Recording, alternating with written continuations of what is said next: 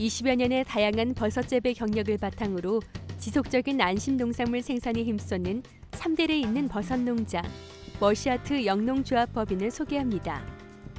머시아트 영농조합법인은 경기도 평택시 진이면에 자리를 잡고 다양한 버섯 전문 상품들을 직접 연구, 생산, 판매하고 있는데요.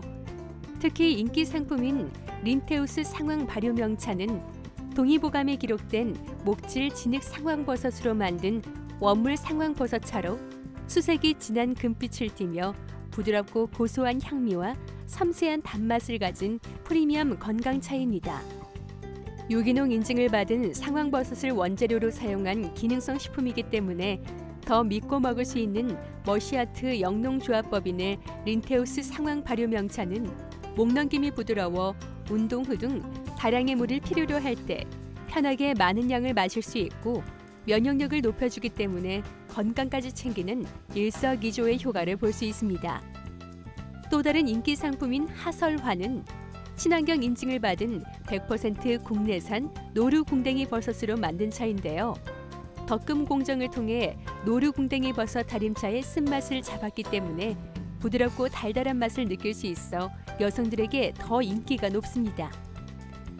또한 저렴한 재질의 부직포 사각형인 일반 티백차가 아닌 삼각 실크 티백을 사용해 차가 빨리 우러나고 위생적입니다. 복합 아미노산, 다당체, 지방산 등이 함유되어 있어 위장 기능에 탁월하다고 알려진 노루궁뎅이 버섯. 이렇게 좋은 노루궁뎅이 버섯을 분말로 먹을 수 있는 상품도 있습니다.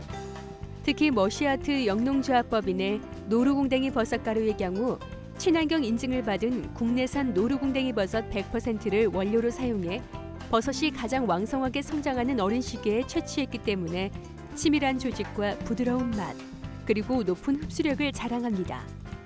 노루궁뎅이 버섯가루의 경우 다양하게 활용이 가능한데요.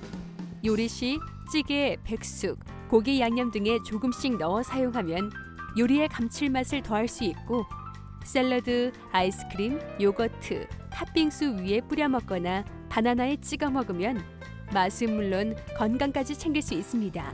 다수의 수상 경력을 보유한 머시아트 영농조합법인의 다양한 버섯 상품들로 소중한 사람들의 건강을 챙겨보세요.